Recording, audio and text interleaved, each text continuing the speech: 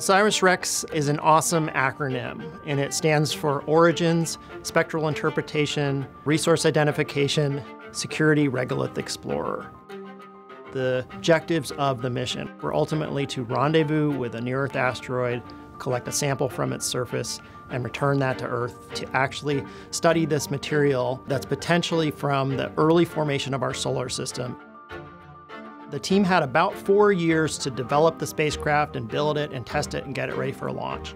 The mission is overall a collaboration between the University of Arizona, leading the science team, Goddard Space Flight Center, doing project management and systems engineering, and Lockheed Martin, which built and operates the spacecraft. We also, of course, have many, many other partners in this mission. Three,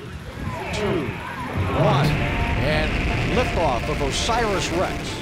OSIRIS-REx launched on an Atlas V rocket that launched from the Kennedy Space Center on September 9th of 2016. And the launch was beautiful. Rocket booster jettison. In August of 2018, we got the first picture of Bennu in one of the cameras on board the OSIRIS-REx spacecraft. We had to map the asteroid globally with all of the instruments that were on the spacecraft and characterize its size, shape, mass, just learn as much as we could about asteroid Bennu because we hadn't been there before. Unfortunately, when we got to Bennu, we were immediately surprised because Bennu was completely covered in boulders, the size of cars and houses, and there was no place on the surface that looked like it was safe for our spacecraft to descend and collect a sample. OSIRIS-REx has an arm that's about 11 feet in length, and at the end of that arm is the sampler head, the collection mechanism. So what OSIRIS-REx did is slowly descended down to the surface of asteroid Bennu with that arm reaching out.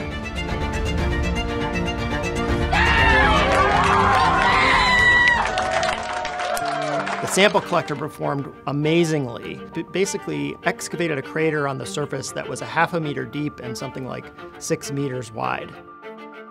But we were immediately surprised by Bennu again. We had collected so much material that the flap that is supposed to keep the material in the head was wedged open. And every time we moved the arm, a little bit of Bennu was, was leaking out just like a salt or pepper shaker. And so we had to rapidly respond to this surprise and get the sample head stowed in the sample return capsule. In May of 2021, the spacecraft departed Bennu and started a two and a half year journey back to Earth. The capsule was released right on target and it landed within this targeted landing ellipse in Utah. So some of the recent excitement has been with the identification of amino acids in the sample. The team has also found evidence for a past wet, salty environment on Bennu. It means that the, the building blocks of life may have been very prevalent in our early solar system and could be prevalent in the universe. And so that, you know, gets to the fundamental question of the origin of life and is there life elsewhere besides our solar system? OSIRIS-REx is the first U.S. mission to return a sample from an asteroid. All members of OSIRIS-REx came together as a team to work towards one goal and with that, we were able to accomplish so much. You've heard about over time these great engineering teams like the team that worked in the Skunk Works for Lockheed and the Apollo team.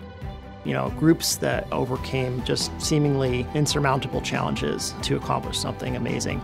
I really believe that the OSIRIS-REx team is one of those great groups. People came together to work and solve problems that just seemed completely impossible and they solved every one of them and had a great success.